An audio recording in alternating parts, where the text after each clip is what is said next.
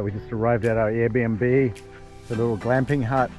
We're in uh, Omaha. There's a beautiful beach just down the road. We just got done snorkeling at Goat Island and it's in this beautiful little vineyard way out the back behind their house, so completely private. Um, got a little area there for a, a fire later on. All these gorgeous fruit trees.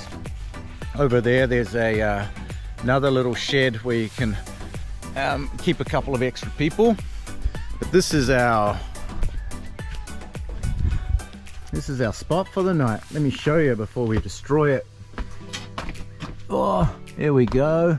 Look at that. Hey, that's not your bed. That's your bed right there. And this is us. Look at this. It's even got furniture. Got a nice big sheepskin rug. Gorgeous big bed. Big high ceilings. We'll grab some pizza at the shop down the road. Got some tequila. And uh, let's have a little look out the back. See, it's got its own kitchen. This is a peach tree. Nice little table there, little dining room table with umbrella. Yeah, kitchen, it's got all the tools, microwave, fridge, freezer, all the cups and glasses. Oh, they've even got marshmallows for the coffee. Welcome, Aaron and family. That's pretty cool. And then back there, here in the bush. You can see here amongst all the big beautiful trees. Check out this. This is not roughing it. Right? It's pretty flash. Nice little bathroom. Cheeky monkeys. So, so far 10 out of 10. Absolutely awesome. Only noise are the birds So, oh yeah, I forgot. There's one other little hut over here, so if you need an extra little uh, space to chill out by yourself, to get away from the kids, there you go. Bob's your uncle. So good.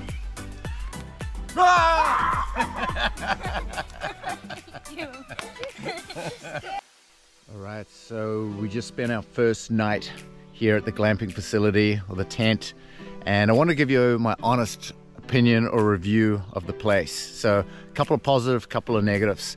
Um, let's start off with the positives. Uh, the bed was incredible. Had the best night's sleep ever. Super, super comfortable. Amazing sheets. Um, temperature was really good. Um, wasn't hot, wasn't cold. It was perfect.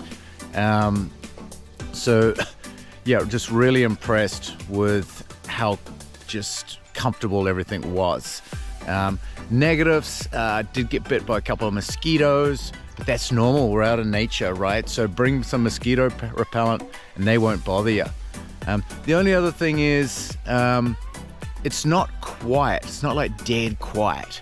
It's actually quite noisy, especially in the morning as all the birds start chirping and waking up.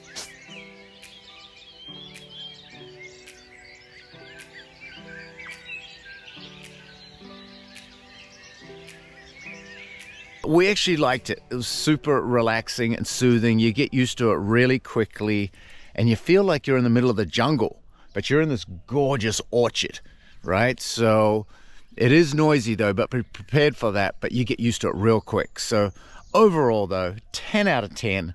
This place is incredible, um, especially if you want to try something off the beaten path, a little different, a little unique. Um, and this is very Kiwi.